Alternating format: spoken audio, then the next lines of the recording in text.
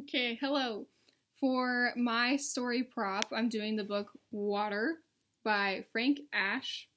Um, a little quick synopsis of the book. Water by Frank Asch is a children's picture book that talks about the many ways that we can find and use water. Water is rain, dew in the morning, a snowflake, a cloud.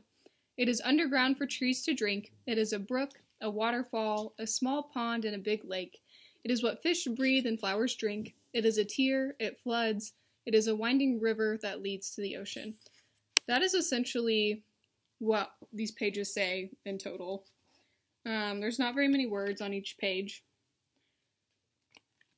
So when I made the story prop, I decided to make a little felt board.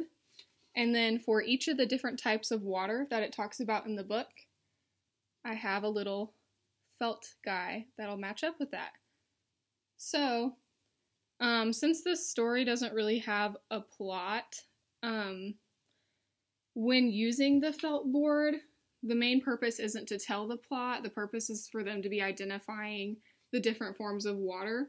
So a student could do this on their own and they could just have all the supplies with them and they could find this and say, water is dew. Water is rain. Water is a river. This is supposed to look like a little river. Water is underground for trees to drink. Water is what fish breathe. You get the point. So there's every single thing that the book talks about, every form of water, I have made a little felt thing for. So a student could do this by themselves, or they could do it in pairs and they could do turn taking if that's something that you wanted them to work on. And you could give them all the materials or split it in half depending on how well they're sharing. And they could go back and forth and say, like, water is a tear, your turn. Water's a pond, hand it back. They can take them off or leave them on. Flowers drink water. Water is a snowflake. I couldn't figure out how to make a snowflake, but get the point. Water is the ocean. Yes, so that's how this storyboard works.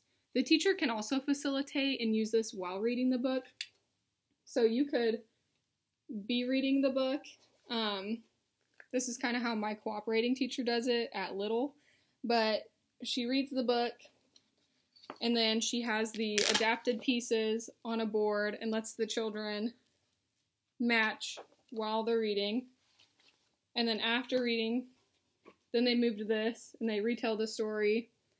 And you, she could, knowing the order, go through and let the kids help put something on it and just go back and forth through everyone until we've talked about all the different ways that we can use water according to the book.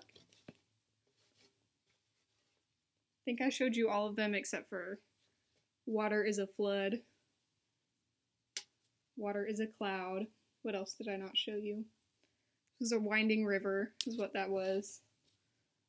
And water is a waterfall.